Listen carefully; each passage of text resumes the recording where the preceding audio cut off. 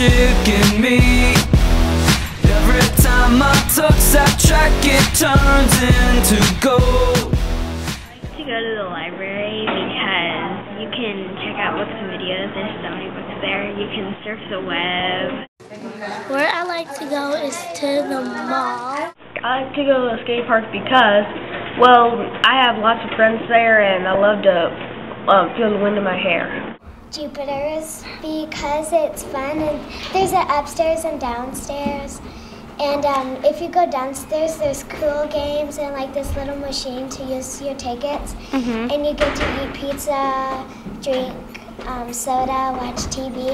And there's like this little mini bowling alley that you could go to, and it's really cool. To the Sholem Pool, that's my favorite place to go because, like, I like hanging out with my friends there and they have water slides and I love water slides.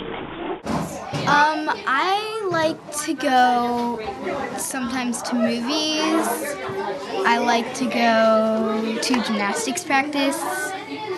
I also like to go camping on weekends. We go, actually, next weekend we're going to this really cool haunted house and we're camping there for a couple week days. I like to go to the Champaign Public Library. I like to go to Jupiter's because it's fun and I like to eat their pizza. I think the resource that people use the most in the community is the library. The library has like lots of materials that they can read for pleasure. They can read it for school. Um, there's videos there they can use. There are computers there they can use. They have different book clubs for the kids. They operate all year round and they're open from 9 to 9 every day except for Sunday. Um, there are kids there doing research all the time whenever I'm there and using the computers and things like that. So I think it's an excellent resource that the Champaign-Urbana community has. Actually, quite a few, but one that I know of in particular is the Champaign Church of Christ. They um, have adopted this Westview School. They transformed the Teachers Lounge. Um, they also volunteer with uh, and are mentors for students. Um, I think there's like seven or eight members that come and actually mentor students. Um, the WVOW TV station, um, our tech guy from the church comes over and has trained them how to do things so they're able to do things they've never been able to do before. Um, and so that's very cool. They also um, supported the um, they were helpful with the at the beginning of school, making sure we had school supplies. And St. Pete's Church next door also did a uh, drive and had school supplies for the teachers in the classrooms. Um, I know Newberry's comes in and they teach like Taekwondo is uh, like an after school thing for a couple um, I forget like maybe for a month two months so that's kind of cool.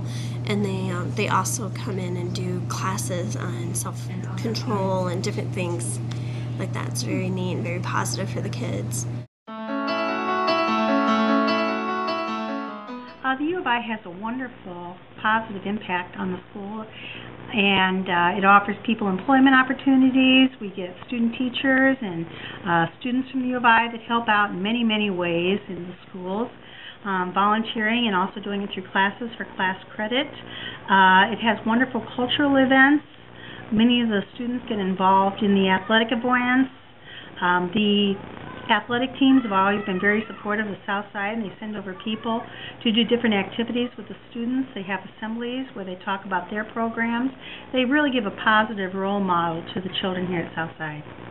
Um, we have a good connection with the volleyball team. I think it's Mr. Morrison, who you're also talking to. Um, and they come and they do an assembly, and then we have a Westview night over at the um, Huff Hall, and it's a lot of fun. The kids get to help participate in different actions, like collect tickets and things like that.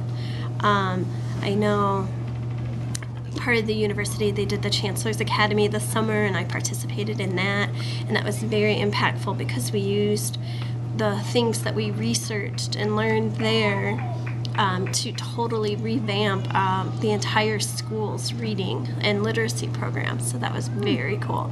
Um, i know the three fifth grade teachers did a um, science um, classes this summer um, chemistry and physics and that was also presented through the U of I. Occasionally, we get like free tickets to sporting events, so the kids actually get to go to some of the sporting events, and that's very exciting for them to be able to be on campus and actually participate, you know, in one of the activities. So.